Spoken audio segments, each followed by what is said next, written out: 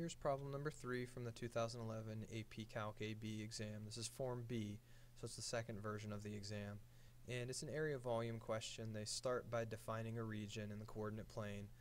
It's the region between the graph of f of x and g of x, and also bounded by the x-axis. So they've already given you the region R graphed over here. And in part A, they want you to find the area of R.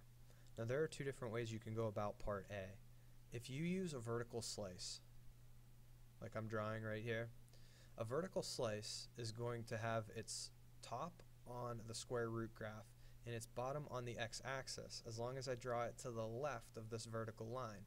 But if I draw it to the right of the vertical line, now the top of my vertical slice is on the line and the bottom is on the x-axis. Because I have two different types of vertical slices, depending on where I draw them on either side of this vertical line, this intersection point, I'd have to use two different integrals to find the area and add the results together. So I'd basically have to find the area here with an integral, and then I'd have to find the area to the right of that vertical line with a separate integral.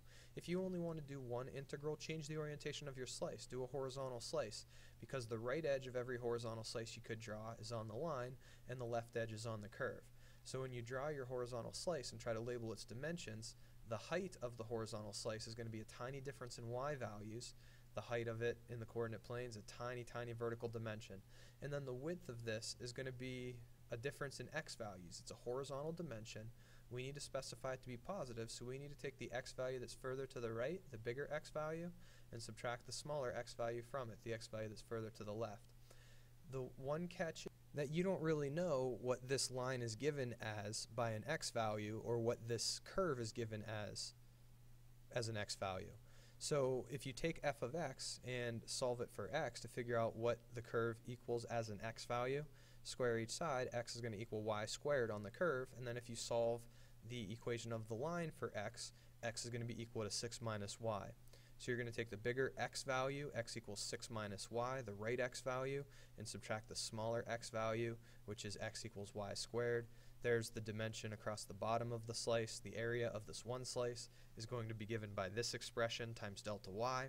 If we want to add together an infinite number of those slices areas, we're going to let the definite integral do all the work. So we're going to integrate this expression. Our delta y becomes a dy.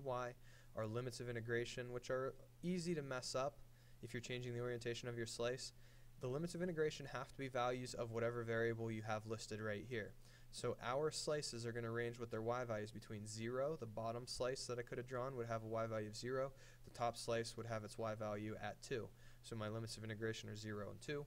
Antiderivative of the expression here is going to leave you with this. And then you need to evaluate this expression at 2, evaluate this expression at 0, and then take a difference. And so if you just do the simplification, you end up with 22 thirds square units.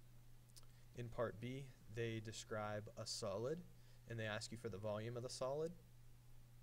And they tell you that the region R is the base of a solid. So this is like the, the bottom of a paperweight uh, and it's, it's flat. So the solid is coming off of this region toward us. And if we take a cross section perpendicularly to the y-axis, which basically means we have to take a horizontal slice out of this solid. If we take that horizontal slice and we remove it and we lay it flat on the table, what we're going to be looking at is we're going to be looking at a rectangular face whose base lies in R. So the base of the rectangle, or the, the longer dimension across the bottom here, has to lie in R. It has to be this dimension, and that's the same dimension that we had from part A. So it's given by the same way we labeled the, the width of our slice in part A. And then the thickness of this is going to be given by delta y. So basically, this slice that you see across the top of the thin rectangular prism corresponds to this slice in the coordinate plane. So using the same dimensions from part A, you get two dimensions pretty quickly. The width of the rectangular prism and the thickness of the rectangular prism. The only other thing you would need would be the height of the rectangular prism. Well, they've actually provided that for you.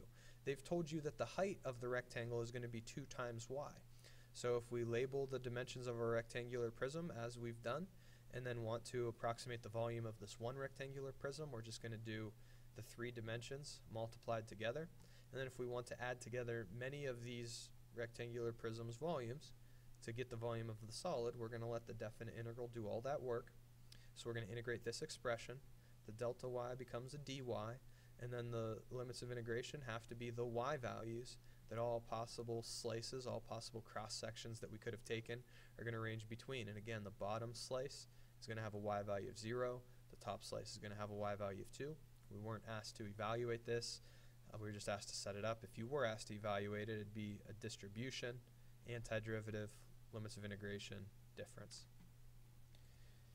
In part C, they tell you that there's a point on f of x where the slope of the tangent line is going to cause it to be perpendicular to the graph of g. So the tangent line is perpendicular to the graph of g. So if you if you think about drawing a tangent line in right here, it would seem like maybe this tangent line would intersect G and, and maybe that would be a right angle. We want to try to find where that tangent line is going to be on the graph of F. So if the, if the two lines are perpendicular, the slopes have to be opposite reciprocals of each other. So right here in the middle of my screen, I started by thinking about the slope of G.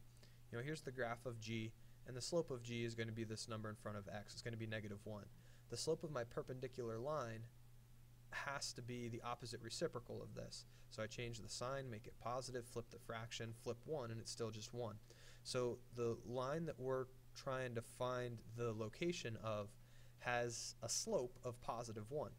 Since it's a tangent line, the slope of the line would be determined by the derivative of f. And so I took the derivative of f using the power rule, and then I simplified that a little bit. The thing with the negative exponent, I moved it back across the fraction bar, and then I went back to radical form.